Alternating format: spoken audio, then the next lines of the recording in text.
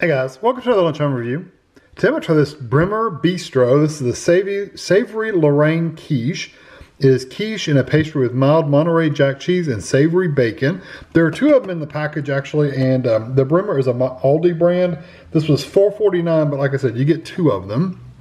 It was 12 ounces or 340 grams uh, for the whole thing. See, Nothing else really. So per serving is uh, one quiche is 510 calories. If you eat the whole thing, it's 1010. So you can do this in the conventional oven. If probably the best way to do it, honestly, is a conventional oven. But you don't usually have a conventional ovens at work, so we're going to do the microwave. So we're going to place the quiche on a microwave safe plate, um, lined with a paper towel. So just put a paper towel underneath of it. Heat on high for three to three and a half minutes. I'll probably just do the three minutes. Um, I think it'll be fine. So let me get a paper towel. Lay that underneath of it. The, I'll put a paper plate underneath of it too as well. They are individually wrapped. That's what it looks like. So I'm going to take it out of the plastic and put it on this. Oh, it's in a little like a little dish. Huh. Well, why does it say paper towel? Hold on.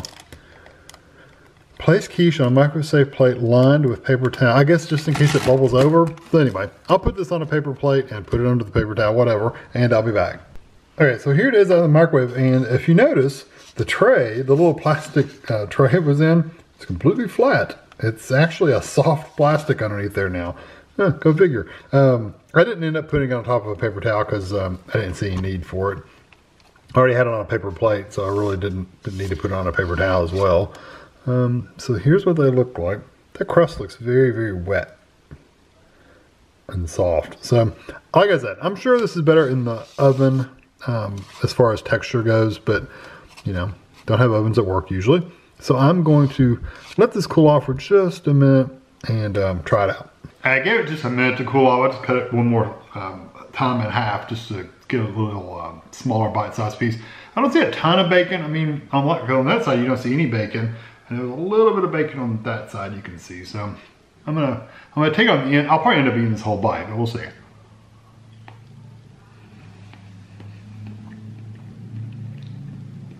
Hmm, a little more bacon in the middle. I like the flavor of the crust. It could be a little crisper.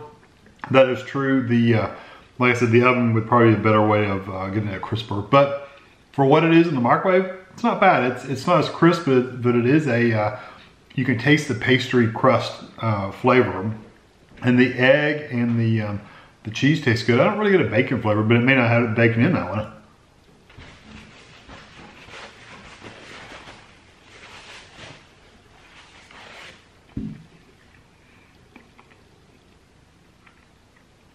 Maybe just a touch of bacon.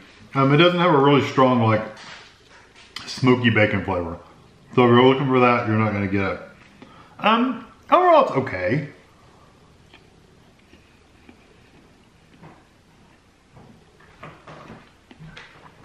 It's by no means a bad flavor, but it's just not a great flavor either. I mean, it's just, it's just an average flavor.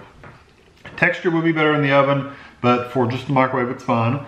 Um, flavor wise, you really don't get a lot of the bacon. You do get the egg and the crust flavor. The crust kind of tastes like a kind of like a pot pie kind of flavor. That's what that's what I get from it. Kind of that floury kind of flavor, the baked flour. Um, you know, I'm gonna give it a three out of five. It's not bad. It's not great.